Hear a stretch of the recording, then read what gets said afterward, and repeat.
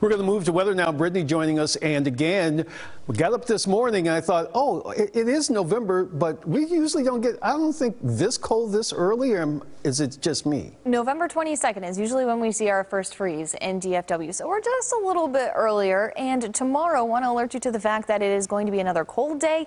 It is going to be a rainy day, but we are expecting a bulk of that rainfall to fall from about 9 a.m. to 3 p.m. in the Metroplex. After the rain moves out, we have a pretty quiet work week ahead, but we are tracking the potential for another system late in the week. But Miles not in great agreement on that right now.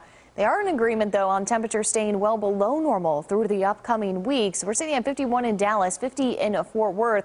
That's where we have some of those clearer skies, a little bit chillier in the 40s, but we are going to continue to see those clouds moving in overnight as this next system sitting over the four corners heads our way. And this is what's going to bring the rain back to North Texas. So quiet conditions if you're headed out this evening, but then the clouds will be filling back in towards sunrise tomorrow. And we'll start to see a couple of showers as you're headed out on the morning drive. And then that rain starts to fill in closer to about the lunch hour, especially right over the Metroplex. Notice west of 35 not getting quite as much rain and starts to pick up a bit more as it heads east. So about 4 o'clock, we're already starting to dry out around DFW and seeing some of those heavier showers around Sulphur Springs into Mineola. And then the clouds are going to be slow to clear out as we head into our Tuesday. But our rainfall totals are going to be light quarter of an inch up to a half an inch with those higher rainfall totals east of 35. We are looking at some moderate rain in those areas, but we're not expecting any snow here in North Texas where they are looking at snow from this system.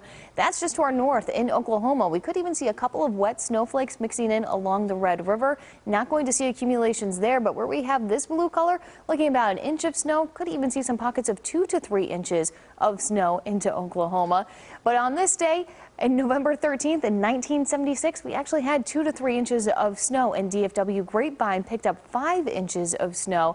Luckily, we don't have that snow in the forecast just yet, but we definitely have a cold and pretty raw Monday on the way. Notice our temperatures are not going to change a whole lot because of the clouds and rain in the area.